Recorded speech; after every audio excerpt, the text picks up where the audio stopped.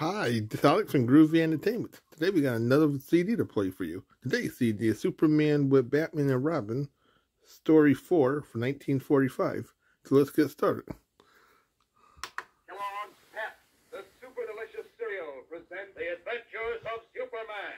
Faster than a speeding bullet. More powerful than a locomotive.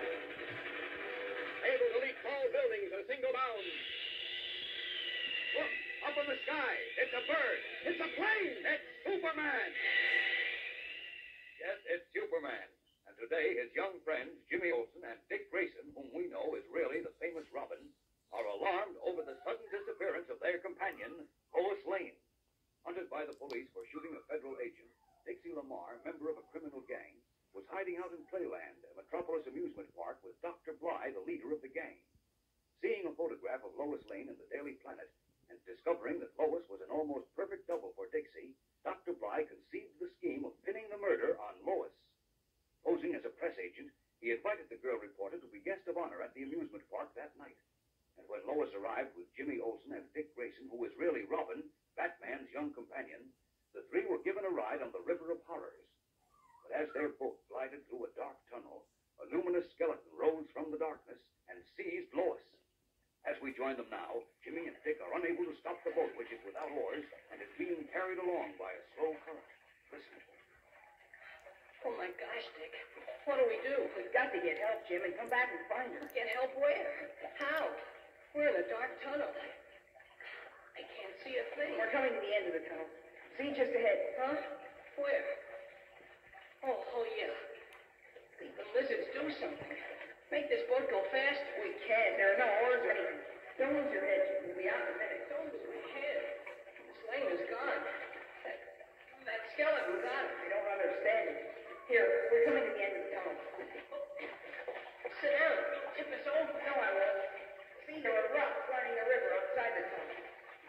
grab hold of and pull a boat over, we can climb out and not have to drift all the way back to the end. Well, that's a good idea.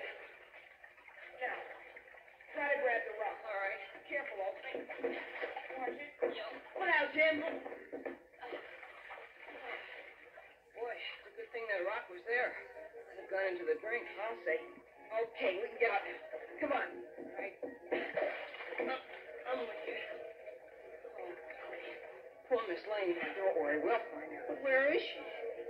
Jeepers, that, that skeleton here. Here's the midway. Jump down, Jim. It's only a few feet. Okay. Now, which way? This way, back to the entrance. At least the one good thing I didn't bust my sundown wristwatch. Oh, is that what that thing on your wrist is? Yeah, tells time by the sun. Hey, that's swell. Where'd you get it? Batman gave it to me. Who? Uh, uh, I... Hey, now, you. Hold on. Oh, wait, Dick, it's a cop. A cop, am I? Ah, look at here, you two, smart pig. What do you mean climbing up in them rocks?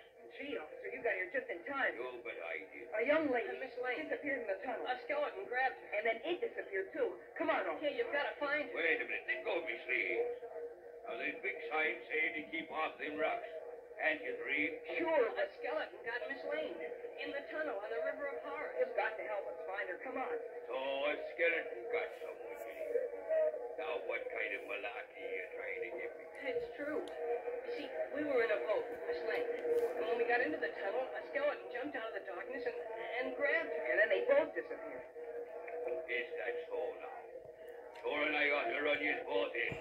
First for climbing on the rocks and then for telling a whopper like that. But it's true, I tell you. The skeleton still got her. Don't just stand there. Don't be after telling me what to do. We'll, we'll do something. Come on back to the entrance of the River of Horrors with us. We'll get another boat and go after Miss Lane. Well, we'll go. Come on. It's Joe Hanson who owns the River of Horrors concession. I don't believe you, Mike. But we'll find out what this nonsense is all about. I only wish it was. So do I. Hey, Joe. Joe Hanson. Hello, Ronnie. I understand them wasn't skeletons you are to be getting into Misty. Sure, sure. That fellow saw us get the boat. Yeah, I remember him. Listen, mister. These two kids want me to pitch one of your skeletons for kidnapping, Joe. That's a good joke. It's an old joke. It sure isn't. They say they was taking a ride in one of your boats with On somebody. Miss Lane, Lois Lane. And when they got into the tunnel, one of them skeletons grabbed her and took her away. That's right. Just a few minutes ago. Please help us find her, mister. Please. What kind kind of a gag is this? It's true. The skeleton got Miss Lane. How could a wood and paper skeleton grab anybody? Are you nuts? No. Honest. You see. I don't like these kind of jokes. They're bad for business. Go on, beat it. No, no, wait. You've gotta listen. I don't have to listen to crazy stuff like that. Get them out of here, Riley. They're bad for business. You say they didn't take a ride in one of your boats, Joe. No, they didn't take a ride tonight. I would have remembered them if they did. You hear that? Now, come on, beat it, you kid. No, wait. You must remember us. We got into the boat less than five minutes ago. You were there when we got in the boat. I see you didn't ride in one of my boats tonight. You say you did. Where's your ticket stub? Anybody rides in my boats, they keep the steps and give them back to me when they finish the ride. Where's your stubs? Oh, we didn't have any tickets. Don't you remember? Mr. Hemingway brought us here and said to you that our ride was on the house. You said okay. Is that right, Joe? I don't give rides for nothing. And I never heard of any Mr. Hemingway either. Well, you did too. You know him. He's the press agent here. The press agent of the whole amusement park. Now, I know you kids are nuts. There's no Mr. Hemingway, the press agent of Playland. Just a Playland. minute, Joe. What did this Mr. Hemingway look like, boys? Well, he's a pretty old man. He's got a deep voice and white hair, and he wears dark glasses. Okay, I've heard enough. The press agent of Playland is named Harry Spencer, and he's a young fella. But I tell And he ain't got a deep voice either. Now, I ought to run you kids in for this.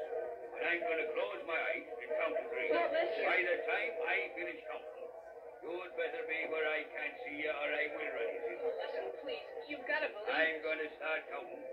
One, Don't believe us.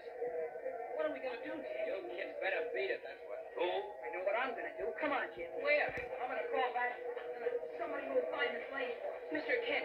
I'll call him. Come on. I see some phone booths behind that. they gone, Joe. Yeah, crazy kid. Ah, boys will be boys. It is no harm done with a bit of a joke now. I think I put the fear of the law in the young devil, but I'll be back in a short while to make sure they ain't bothering you no more. So long, Riley, and much obliged. Joe. Dr. Bly. Told you not to mention my name. You kind of scared me sneaking up like that. Uh, good thing you took off your white wig and dark glasses before the cops spotted you. Don't mind that. What did you do with the girl, Miss Lane? Names, I said. She's in a safe place.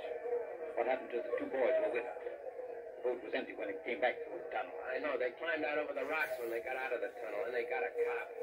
Cop? Yeah, Riley, the one who just left here. I stole him off, all right. He thinks the kids were joking. You fool. You shouldn't let them get away. Well, what could I do? They came back here with Riley. Oh, you fool, you stupid fool. If they get away, they'll spoil everything. Well, what could I do, Doc? Shut up. Which way did they go? Quick. Over to those phone booths behind the hot dog stand. There was a call on Mr. Kent and somebody named Bat. They started over just before you showed up. Good. May not be too late. Now remember, you never saw the girl. Those two boys didn't ride in your boat. Swiftly, Dr. Bly turns and hurries through the gay crowds to the telephone booths, where Jimmy and Dick are excitedly calling Clark Kent and Batman for aid. We'll return in a moment for the dramatic climax of today's episode. But first, here is your announcer. Hey there, Pep Gang. Are you getting your complete sets of Kellogg's Pep insignia and warplane buttons in shape? I mean the new second series of 22 buttons. Boy, they're real beauties in four sparkling colors of red, blue, black, and yellow against a pure white background. And you know, it's a good idea to swap 'em and get the ones you need to fill out the series. For example, suppose you have an extra insignia of the 17th Bombardment Squadron. That's the comical looking pilot with goggles leaning on an upended bomb.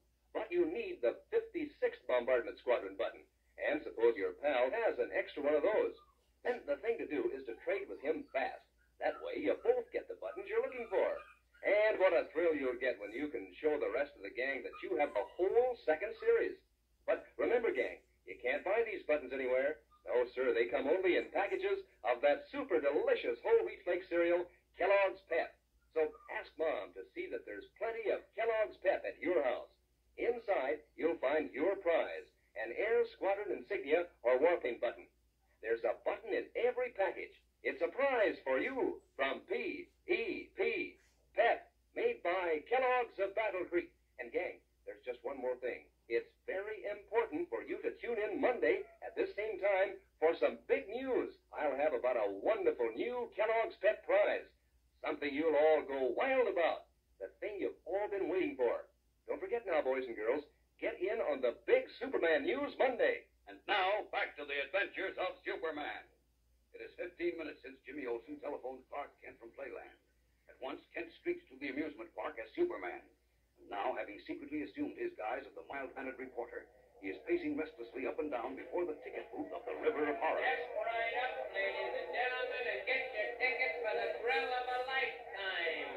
Me right here.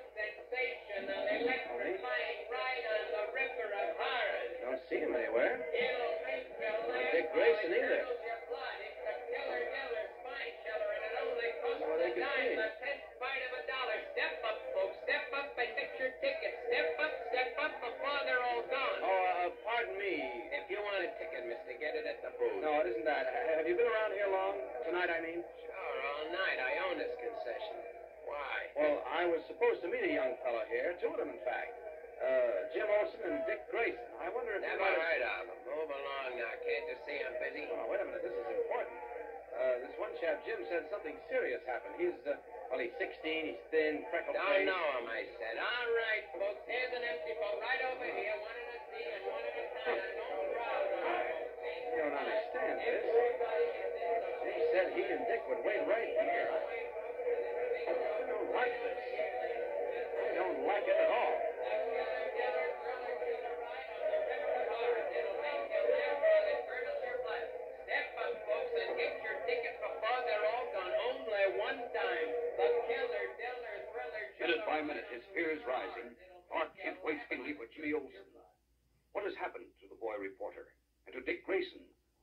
Reality Robin, Batman's young companion?